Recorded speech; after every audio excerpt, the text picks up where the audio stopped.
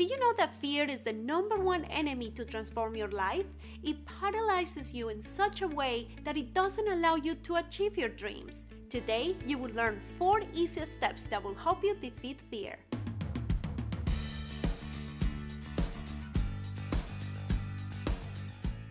My loves. I'm Diana, and you're watching Transform Your Life. And welcome to episode number six of the series from the book The Virtuous Woman of Today. On the last episode, you learned practical steps to help you stay motivated to achieve your dreams and transform your life.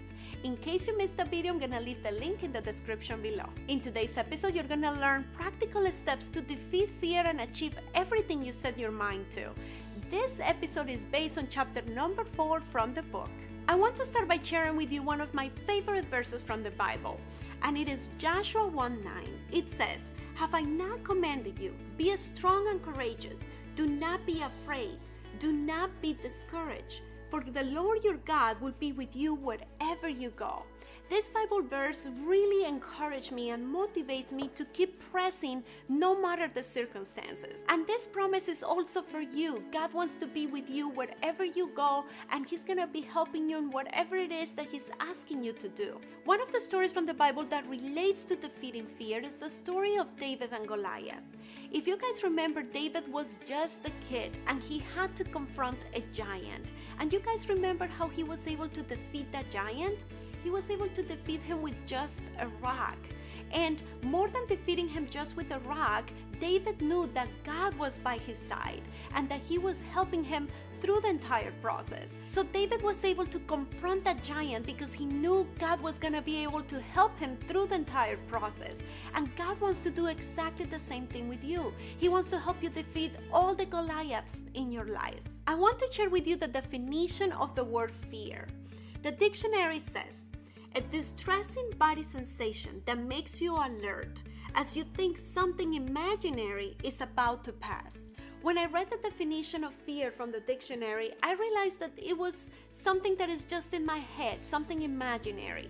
So if you are facing fear at this precise moment in your life, today you're gonna learn four steps that will help you defeat fear. Step number one is to trust God and His promises.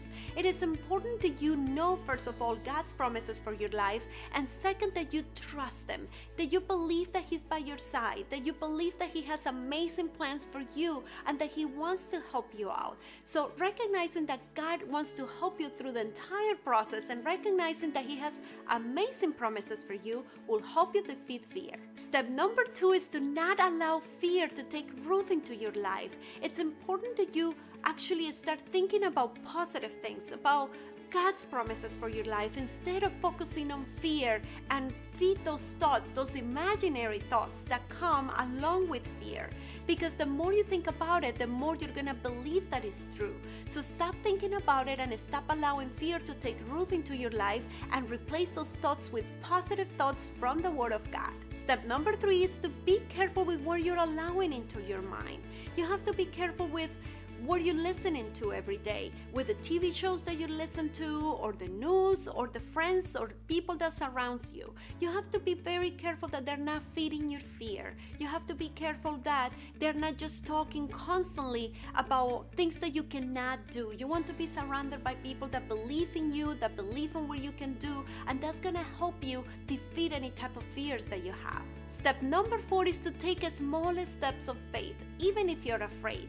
The more steps you take, little by little, and the closer you get to that giant, you're gonna realize that that giant is very small and it was something just imaginary in your head. So, the more steps you take toward that dream or towards that transformation that you want to achieve in your life, the more you're gonna defeat fear. So, the homework for this week, my beautiful friends, is that you actually start taking those small steps of faith. Identify an action that you have been procrastinating because you have been afraid, and start taking those small steps of faith.